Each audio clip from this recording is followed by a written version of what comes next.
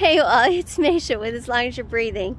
So I heard from someone um, about the communication video I did this morning, and they're like, so, you know, you were so right about that.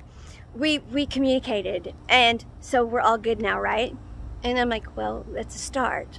And they're like, what do you mean it's a start? Um, I took control, and um, we're communicating now, and I'll just keep, I'll stay in control, and we'll just keep communicating, and it's all going to be good, right?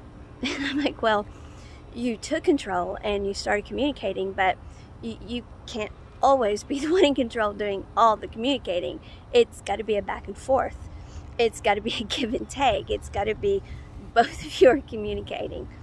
But I, I don't see this person doing that. I mean, they're going to answer me, but I'm like, well, in the work environment, there is a leader, there's a boss uh, there there's a, a, someone who is taking control, yes, and there can only be one head honcho, you know, somebody that's in charge, somebody that's responsible. The relationship is a little different. Um, there there can't be one who is in control of everything. That's that's very different. A relationship is both people, and nobody is in control of the other person. Both people are being who they are, and so it's got to be a positive energy loop where it's a back and forth. You're both taking control of the communication. You're taking control and initiating it, but then they respond, but then they are also taking control and they're maintaining the the initiation of the conversation of the back and forth maybe next time they're the one who brings up that there's something the two of you need to talk about, or they're making sure that um, that the, the back and forth flow is going. Oh, I'm, I'm not sure this person will do that. Well, then there's a problem there too. You see, both people have to want the back and forth. There can't be a quote unquote boss or leader in a relationship. Relationship has to be, well, it has to have continuous energy loop. It has to be both people want the relationship. It can't be one person wants a relationship and one person wants to be a passive partner who's just kind of there and yeah, we've got a great relationship. I'm here and she manages it or I'm here and he manages it.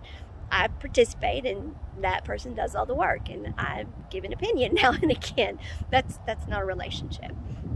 A relationship is um, the communication is so each person can communicate about who they really are and be who they really are. And so you can mirror back and forth to one another and continue to grow and become better and better versions of yourself.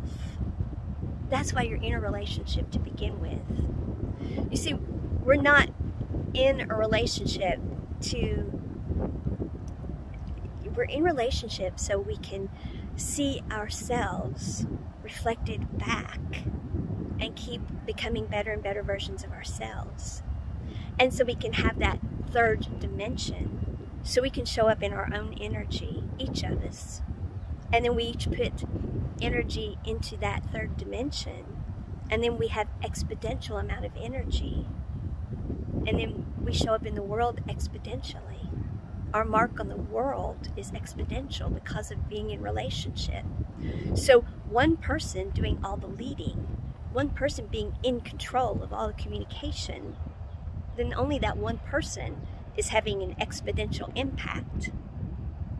And so then you're back to a dysfunctional relationship. So, no.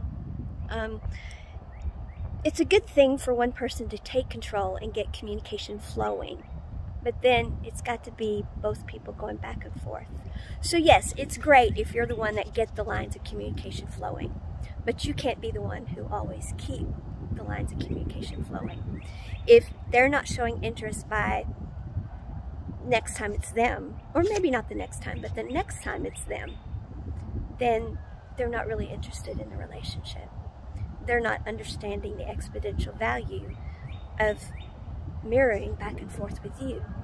Or perhaps maybe it's not with you. Maybe it's they're not seeing the value of mirroring back and forth with anyone. They haven't come to terms yet with the value of relationship. So it's not about you. Don't take it personally. Just move on and put the energy out there to find someone, to attract someone into your life that does understand the exponential value of being in relationship. Don't take it personally. It's not about you. It's about the other person. Okay? All right.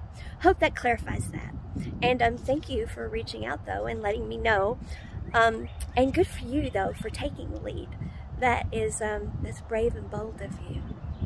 And that is, um, that's what we have to be, is brave and bold, not passive. Life is always moving. And so we have to choose how we move. That's living in great big capital letters.